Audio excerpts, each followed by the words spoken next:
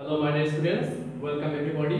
Assalamu alaikum. This is Mohammad Saddam Hossein, Assistant Teacher in English, Srishti center school and college Rajshahi আজকে আমরা ক্লাসের মধ্যে online যে ক্লাসটি করছি সেটা দুইটা ইউনিটকে একসাথে ক্লাস করা হয়েছে কারণ দুইটা ইউনিটের পড়াগুলো মোটামুটি একই তাহলে চলো আজকে আমরা লেসন ইন্ট্রোডাকশনে যাই লেসন ইন্ট্রোডাকশন আমরা যেটা দেখছি আজকে আমরা ইউনিট 23 এবং 24 একসাথে কম্বাইন করে পড়ব এবং দুইটা ইউনিটেরই টপিক হচ্ছে রাইটস ওয়েল 1 এবং 2 এই লেসনটা পড়ার পরে আমরা জানব একটা প্যারাগ্রাফের মধ্যে সেন্টেন্স কত প্রকারের আসে এবং সেগুলো কীভাবে লিখতে হয়, তাদের চিহ্নগুলো কীভাবে হয়, সেই বিষয়গুলো আজকে আমরা এখান থেকে জানব। তো ক্লাসের শুরুতে যে বিষয়টা বললাম, সেটা হচ্ছে যেহেতু দুইটা ইউনিটকে একসাথে করে পড়ছি, অতএব তোমাদের পেজ নাম্বারগুলো ভালো করে মনে রাখতে হবে। আমি আমার কথার মধ্যে আমার পেজ নাম্বারগুলো বলে দেব।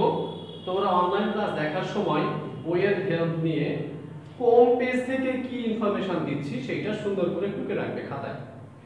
তাহলে আমরা যদি শুরু করতে যাই, তাহলে আমাদের 46 পেজ এই পৃষ্ঠাটার মধ্যে রাইট ওয়েল ওয়ান লেসনের মধ্যে যেটা আছে সেটা হচ্ছে কীভাবে সেন্টেন্সের মধ্যে ক্যাপিটাল লেটারের ব্যবহার আসে এবং কীভাবে বা কখন আমরা ফুল স্টপ অর্থাৎ একটা ফোঁটা ব্যবহার করতে পারি। তাহলে আসি, আমরা কি বলি এখানে লার্নিং আউটকাম যেটা আছে, সেটা হচ্ছে ইউজ অফ ক্যাপিটাল লেটার প্রথম যে কথাটা, সেটা হচ্ছে ইউজ অফ ক্যাপিটাল লেটার অর্থাৎ কীভাবে সেন্টেন্সের মধ্যে, অর্থাৎ কোথায় কোথায় আমরা ক্যাপিটাল লেটারটাকে ব্যবহার করতে পারি।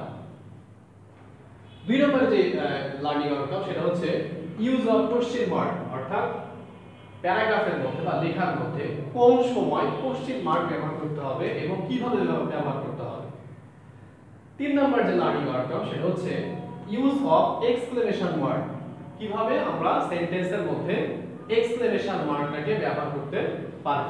তাহলে তিনটা সেন্টেন্স সম্পর্কে ধারণা হলো, একটা হচ্ছে ফুল স্টপ বা অ্যাসার্টিভ সেন্টেন্স কোশ্চেন মার্ক বা ইন্টারোগেটিভ সেন্টেন্স এবং তিন নাম্বারটা হচ্ছে এক্সক্লেমেশন ওয়ার্ড বা এক্সক্লেমেটরি সেন্টেন্সের সময় কি চিহ্ন ব্যবহার করা যেতে পারে।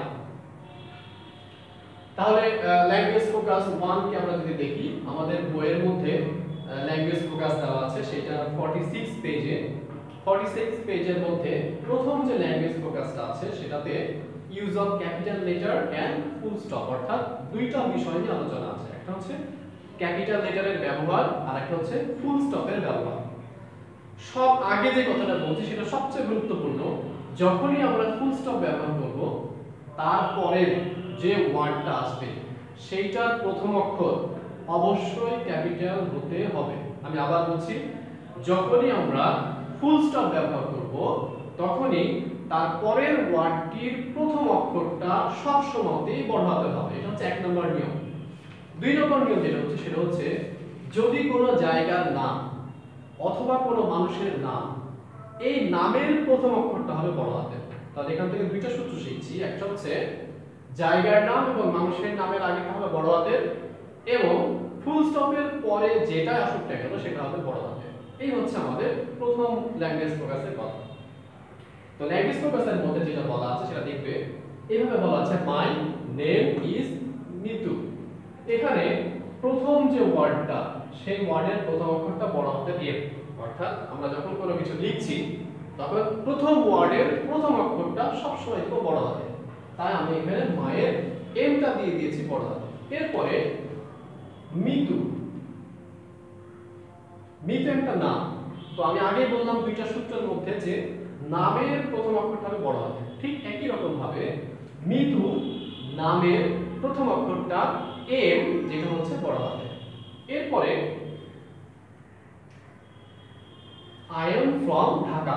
I am from Dhaka. আমি বলেছিলাম যে ফুল স্টপের পরে ফুল স্টপের পরে যেটা আসুক না কেন সেটা প্রথম অক্ষর হবে বড় হাতে তাহলে আই এসেছে আই এম তাহলে আইটা হচ্ছে বড় হাতে ঢাকা একটা জায়গার নাম। তো আমি বলেছি নামের আগে প্রথম অক্ষর বড় হয়। তাহলে ঢাকায় ডি হচ্ছে বড় হাতে এই হচ্ছে আমাদের ক্যাপিটাল লেটারের ব্যবহার, অর্থাৎ বড় হাতের ব্যবহার। এখন আমরা যাব, কীভাবে বুঝব এখানে ফুল স্টপ হবে? এখন ফুল স্টপ কীভাবে হবে সেটা আমরা বুঝি যে, যখন কোনো কিছু লিখছি কোনো কিছু লিখলাম, একটা ওয়ার্ড একটা সেন্টেন্স কিছু লিখেছি। এই লেখার মনের ভাবটা যদি পূর্ণ হয়ে যায়, তাহলে তারপরে আমরা ফুল স্টপ বসায় দিতে পারি। যেমন, আমি বাড়ি যাই। এখানে বাড়ি যাই, গোটাটা ফুল স্টপ হয়ে গেছে, কারণ মনের ভাব শেষ সেন্টেন্স শেষ। অর্থাৎ সেন্টেন্সের শেষে আমরা ফুল স্টপ বসাবো। এই আলোচনাটুকু আমাদের ল্যাঙ্গুয়েজ ফোকাস 1 ইউনিট 23 এর 46 পেজের ল্যাঙ্গুয়েজ ফোকাস থেকে আলোচনা। এরপরে আমরা পরবর্তী পেজে যাব, যেটা হচ্ছে 47 পেজ এবং এটা লেসন দেওয়া আছে বইয়ের টেক্সট বইয়ের উপরে 4 এবং 5 এইখানে আমরা দ্বিতীয় ল্যাঙ্গুয়েজ ফোকাস সম্পর্কে আলোচনা করব। দ্বিতীয় ল্যাঙ্গুয়েজ ফোকাসটা কি সম্পর্কে আগে বলেছি সেটা, যে কীভাবে সেন্টেন্সের মধ্যে আমরা কোশ্চেন মার্ক অর্থাৎ কোশ্চেন মার্ক মানে প্রশ্নবোধক চিহ্নটা আমরা কীভাবে দিতে পারি বা কখন দিতে পারি, এই বিষয়টা নিয়ে দ্বিতীয় ল্যাঙ্গুয়েজ ফোকাস আলোচনা আছে, তাহলে দ্বিতীয় ল্যাঙ্গুয়েজ ফোকাস আমরা বলছি যে ইউজ অফ কোশ্চেন মার্ক কখন আমরা কোশ্চেন মার্ক ব্যবহার করব? এখানে বলছে, when we want information, we ask a question. যখন আমরা কোনো কিছু জিজ্ঞেস করতে যাই, কোনো কিছু জানতে চাই, কোনো ইনফরমেশন দরকার হয়, তখন আমরা কি করি? তখন আমরা প্রশ্ন করি। এই প্রশ্ন করার ক্ষেত্রে আমরা, প্রশ্ন করার পরে অবশ্যই এক্সক্লেমেশন মার্ক দিতে হবে। যদি এক্সক্লেমেশন মার্ক না দেই, তাহলে কিন্তু সেটা প্রশ্ন হবে না। সেখান থেকে কোনো ইনফরমেশন ও ফিডব্যাক আকারে আসবে না। ওকে তাহলে এখন আমরা জানার চেষ্টা করব, আমরা প্রশ্ন আসলে কীভাবে করি? অর্থাৎ কি কি উপায়ে প্রশ্ন করি বা কি জিনিস শুনলে বুঝতে পারি যে এইটা একটা প্রশ্ন? যেমন ধরো আমি যদি বলি হোয়াট ইজ ইউর নেম এই যে হোয়াট ডাব্লিউ এস ওয়ার্ড এটা কি বলে? ডাব্লিউ এস ওয়ার্ড তাহলে ডাব্লিউ এস ওয়ার্ড দিয়ে প্রশ্ন করা যায়। এক নম্বর। দুই নম্বর হচ্ছে আমি যদি বলি do you like it do you like it তুমি কি এটা পছন্দ করো? এটা একটা কোশ্চেন বাট এখানে কিন্তু ডু দিয়ে শুরু হয়েছে ডাব্লিউ এস ওয়ার্ড দিয়ে হয়। তাহলে আমরা দেখতে পাচ্ছি, দুই ধরনের ডাব্লিউ এস ওয়ার্ড মানে দুই ধরনের প্রশ্ন হয় আর কি। একটা হচ্ছে ডাব্লিউ এস ওয়ার্ডের সাহায্য নিয়ে, আর আরেকটা হচ্ছে বি ভার্ব অর্থাৎ ডু ডাজ অ্যাভিজার হ্যাভ হ্যাজ হ্যাড এই যে টেন্সের যে বিভাগগুলো আছে, সেগুলোর সাহায্যেও আমাদের প্রশ্ন করা হয়। তাহলে যদি কোনো সেন্টেন্সের শুরুতে ডাব্লিউএস ওয়ার্ড দেখি অথবা বিভাগ রুল দেখি, তাহলে আমরা সবশেষে একটা কোশ্চেন মার্ক বসাবো এবং বুঝতে পারব এটা একটা এক্স কোশ্চেন মার্ক এটা একটা কোশ্চেন প্রশ্নবোধক সেন্টেন্স ঠিক আছে, তাহলে আসো আমরা অ্যানসারে যাই, এখানে দুই নম্বরের ল্যাঙ্গুয়েজ ফোকাসে বলছি do you go to school do you go to school তাহলে এখানে ডু আছে। তো ডুটা কি? বিভাগ। এবং এইটা সেন্টেন্সের শুরুতে। তাহলে অবশ্যই বুঝতে পারছি এটা কি? একটা কোশ্চেন মার্ক এবং সব শেষে কি চিহ্ন আছে? কোশ্চেন মার্ক চিহ্ন আছে। তাহলে এখানে ডুটা ডু অর্থাৎ ডি হবে বড় হাতের, কারণ আমরা ল্যাঙ্গুয়েজ ফোকাস 1 থেকে কিন্তু শিখে আসছি। কোন একটা সেন্টেন্স লিখতে হলে প্রথম অক্ষরটা লিখতে হবে বড় হাতে তাহলে ডু এর প্রথম অক্ষরটা হয়েছে বড় হাতে এরপর আমরা কোশ্চেন মার্ক বসাই দিই আশা করি ল্যাঙ্গুয়েজ ফোকাস 2 তোমরা ভালোভাবে বুঝতে পেরেছ। ওকে এরপরে আমরা তিন নম্বর ল্যাঙ্গুয়েজ ফোকাসে যাব।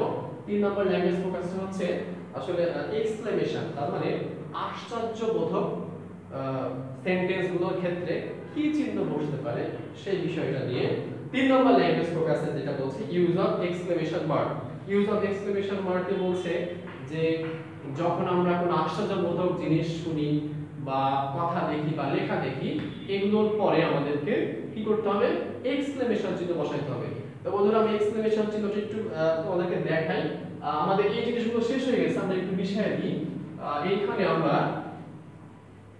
এক্সক্লেমেশন চিহ্নটা হচ্ছে এইরকম একটা দাড়ি তার নিচে এই চিহ্নটা এটার নাম হচ্ছে এক্সক্লেমেশন চিহ্ন। আর এর আগে আমরা যেটা করেছিলাম সেটা হচ্ছে, এটা হচ্ছে কোশ্চেন মার্ক এবং ফুল স্টপ তিনটা জিনিস আমরা আজকে শিখছি। তাহলে এক্সক্লেমেশন মার্ক কোথায় বসবে?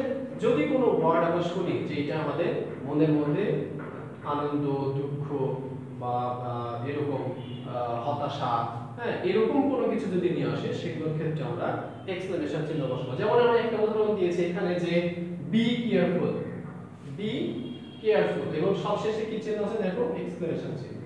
এরপর আমি বলেছি don't stand up don't stand up এটার শেষে আমি দিয়েছি এক্সক্লেমেশন মার্ক এই জিনিসগুলো আসলে এক্সক্লেমেটরি সেন্টেন্সের মধ্যে পড়ে। তো যখন কোনো এক্সক্লেমেটরি সেন্টেন্স আমরা পাবো তখন সেই সেন্টেন্সের শেষে অবশ্যই একটা করে এক্সক্লেমেশন চিহ্ন বসাবো। এই চিহ্নটা বসাবো। ওকে তাহলে আশা করি তিনটা ল্যাঙ্গুয়েজ প্রকাশ সম্পর্কে সুন্দরভাবে ধারণা হয়েছে এবং আমরা বইয়ের রেফারেন্স দিয়ে বললাম। বইয়ের পেজ অনুসরণ টেক্সট বইয়ের পেজ বলে দিয়েছি। সেই সমস্ত পেজে এই ল্যাঙ্গুয়েজ ফোকাসের বিষয়গুলো দেওয়া আছে। আশা করি তোমরা ক্লাসের ফাঁকে ফাঁকে বইটাকে যদি একটু দেখো, তাহলে সুন্দরভাবে এগুলো আমাদের তোমাদের আবার মনের মধ্যে চলে আসবে। এর পরবর্তী যে সেকশনটা আছে, সেখানে আমি যাচ্ছি। এই সেকশনে আমরা এতক্ষণ ধরে ক্লাসের মধ্যে যা কিছু শিখলাম, যে বিষয়গুলো জানলাম, যে সূত্রগুলো, যে রুলসগুলো জানলাম, সেগুলো ব্যবহার করে কীভাবে আমরা একটা এক্সারসাইজকে করতে পারি, সেই বিষয়টা আমি এর পরবর্তীতে দেখাচ্ছি। এখানে তিনটা ল্যাঙ্গুয়েজ ফোকাসের উপর ভিত্তি করে আমি তিন ধরনের এক্সারসাইজ দিয়েছি।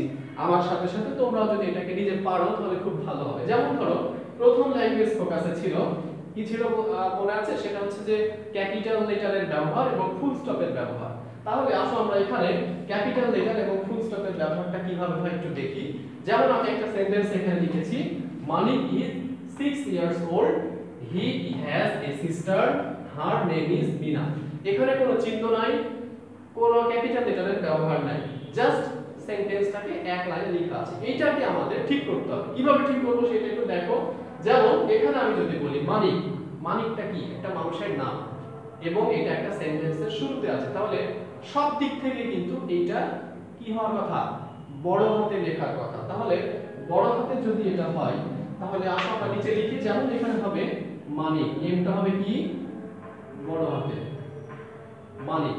মানিকের এমটা হচ্ছে বড় হাতের। কারণ এটা একটা নেম এটা একটা নাম। তাহলে লিখে যায় মানিক ইজ 6 ইয়ার্স ওল্ড এই যে ওল্ড লিখলাম, এই পর্যন্ত কিন্তু আমাদের মনের ভাব পূর্ণ হয়ে গেছে, সঠিক হয়ে গেছে হ্যাঁ? তাহলে আমরা এখন এখানে কি চিহ্ন দিতে পারি? ফুল স্টপ চিহ্ন দিতে পারি ভেরি গুড ফুল স্টপ চিহ্ন আমি এখানে দিয়ে দিচ্ছি। তাহলে যেহেতু ফুল স্টপ চিহ্ন বসল, তাহলে ফুল স্টপের পরের জিনিসটা কি হওয়ার কথা? বড় হাতের হওয়ার কথা। তাহলে ফুল স্টপের পরের চিহ্নটা আমি বড় হাতের দিচ্ছি কি? ফুল স্টপের পরে কি আছে? হি তাহলে হি এর এইচটা কি হবে? বড় হাতের হবে তাহলে হি দিলাম he he has a sister he has a sister এই পর্যন্ত আমার সেন্টেন্সটা মোটামুটি শেষ।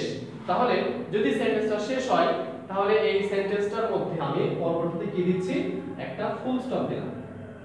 ফুল স্টপ দেওয়ার পরে ফুল স্টপের পরে যে আসে তাকে তাকে কি করব? বড় হাতে লিখব? তাহলে হার। হার নেম ইজ দিলাম। এবার মিনা হচ্ছে একটা মানুষের নাম। তাহলে যেহেতু সে একটা মানুষের নাম, তাহলে তাকে কীভাবে লিখতে হবে? বড় হাতে লিখতে হবে। তাহলে লিখলাম Mina.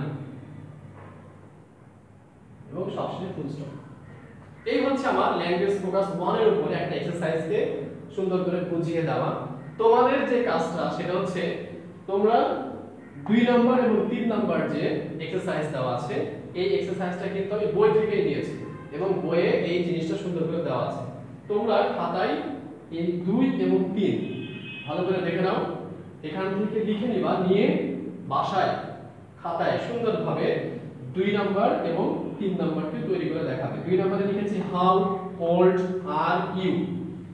Where are you from. এটা গোটাটাকে তোমরা যেভাবে বুঝিয়েছি সেভাবে সুন্দর করে অ্যাডজাস্ট করে কোথায় কি হবে সেটা দিয়ে আমাকে আকারে পাঠিয়ে দেবে। তিন নাম্বারটা হচ্ছে স্টপ নাও কাম হিয়ার নাও এখানেও দুইটা জিনিস আছে তোমাদেরকে দুইটা জিনিসকে সুন্দর করে লিখে নিয়ে হ্যাঁ খাতায় ছবি তুলে আমাদের, আমার কাছে পাঠিয়ে দিতে হবে। তাহলে হোমওয়ার্ক থাকছে দুইটা জিনিস, একটা হচ্ছে এক্সারসাইজ 2 এবং 3 এই দুইটা জিনিস তোমাদের আগামী ক্লাসের এক্সারসাইজ আগামী ক্লাস দেখে এইটার এক্সারসাইজ করে আমাকে ছবি পাঠাবে, আমি সেগুলো এক্সামিন করব। এবং এই ক্লাসটার উপরে কিন্তু আগামী সপ্তাহে সোমবারে একটা ক্লাস টেস্ট পরীক্ষা আছে উইকলি টেস্ট পরীক্ষা আছে। তাহলে এই চ্যাপ্টারটা খুব গুরুত্বপূর্ণ এবং সব পরীক্ষাতে এখান থেকে, সারা জীবনে এখান থেকে মোটামুটি জিনিসগুলো দরকার হতে পারে। তাহলে এটা আমাদের একটা বেসিক নলেজ আকারে থাকছে। আগামী ক্লাস পর্যন্ত সকলের সুস্বাস্থ্য কামনা করছি এবং সকলকে আমন্ত্রণ জানাচ্ছি অনলাইন ভিডিও ক্লাসগুলোতে আরও পার্টিসিপেট করার জন্য। সেই পর্যন্ত সকলে ভালো থাকো, সুস্থ থাকো। আসসালামু আলাইকুম ওয়া রাহমাতুল্লাহ।